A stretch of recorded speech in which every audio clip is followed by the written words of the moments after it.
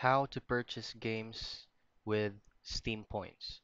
Let's go ahead on the Steam website to see if we can purchase a games using the points.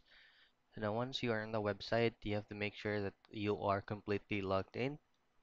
Right now I'm using the web browser. Now let's hover your mouse to store and then go to points shop. So under featured interface, profile, chat, we will be able to see these options. Now, there's actually no option here to buy or purchase a game using your Steam points instead. Now, you can only use your Steam points by purchasing accessories on your profile.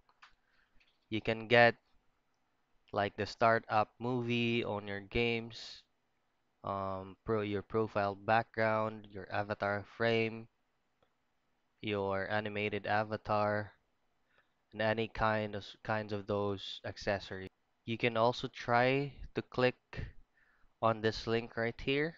How do points work? Now, as what you can see, most of the um, answers on this question, it does not have any game connected to it. Most of them are being purchased as only for accessories.